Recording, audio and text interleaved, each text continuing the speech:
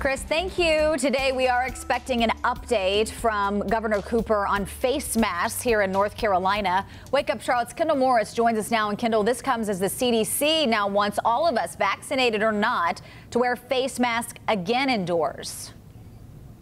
Yeah, Sarah, and at this point, we don't know exactly what Governor Cooper is going to say, whether he's going to require everyone to mask back up.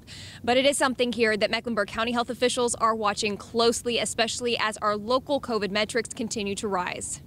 Mecklenburg County leaders urging the public to protect themselves and others with a mask. Masking is a is a tool to protect ourselves, but also uh, protect us from, from getting other people sick. As the highly contagious Delta variant sweeps across the state of North Carolina, making up more than 70% of new cases here, health officials say fully vaccinated people can still have a breakthrough case.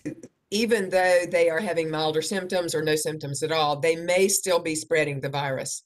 And so um, that's one of the main reasons we're asking them to wear a mask is so they are not spreading virus to other people if they might be infectious. Mecklenburg County not ready to mandate masks, instead calling on businesses to implement their own policies. It's a way of protecting their own employees so that they can keep their businesses open, but it's also a way of, of protecting their patrons and the community at large. It's why the Evening Muse in NODA isn't taking any chances requiring anyone who comes inside to wear a mask regardless of vaccination status. Our business, we were closed for 421 days.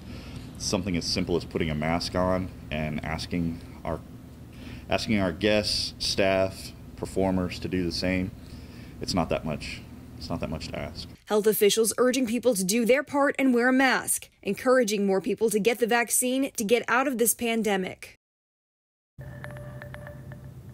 Governor Cooper's news conference is set for 3 p.m. Mecklenburg County has previously fallen in line with whatever guidelines the state has put in place. Live in Uptown, Kendall Morris, WCNC Charlotte.